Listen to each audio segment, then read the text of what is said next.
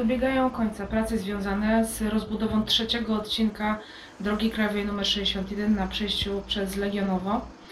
Przypomnijmy, że umowę podpisaliśmy w 2017 roku. Obecnie e, zaawansowanie prac e, sięga 80%.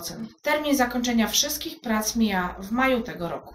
Nasze prace rozpoczęliśmy od zaprojektowania drogi krajowej nr 61 relacji Warszawa-Ostrołęka na odcinku prawie 2 km.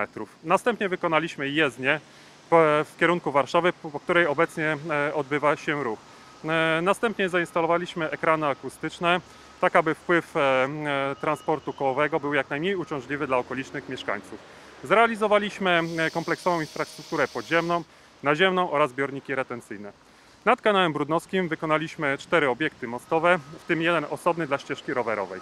Aktualnie e, przebudowujemy sygnalizację świetną z systemem e, usprawniającą ciągłość ruchu e, kołowego i pieszego. Po planowanej przerwie zimowej rozpoczęliśmy pracę za skrzyżowaniem ulicy Wolskiej oraz roboty rozbiórkowe w ulicy Stróżańskiej. Największym utrudnieniem dla okolicznych mieszkańców są prace w ulicy Stróżańskiej, które spowodowały jej zamknięcie oraz wymusiły e, objazd ruchu. E, Utrudnienia potrwają około dwóch miesięcy. Po zakończeniu budowy e, kierowcy, rowerzyści, piesi będą mogli poruszać się bardziej sprawnie i bezpiecznie.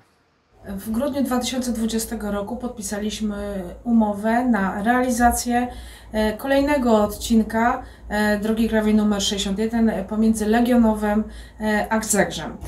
Wykonawca zrealizuje umowę w systemie projektu i buduj, czyli analogicznie jak w przypadku przejścia przez Legionowo odcinek trzeci.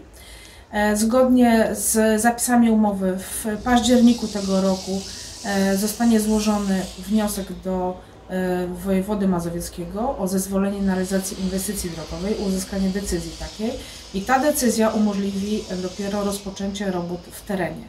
E, Przewidywany e, termin zakończenia wszystkich prac to połowa 2024 roku.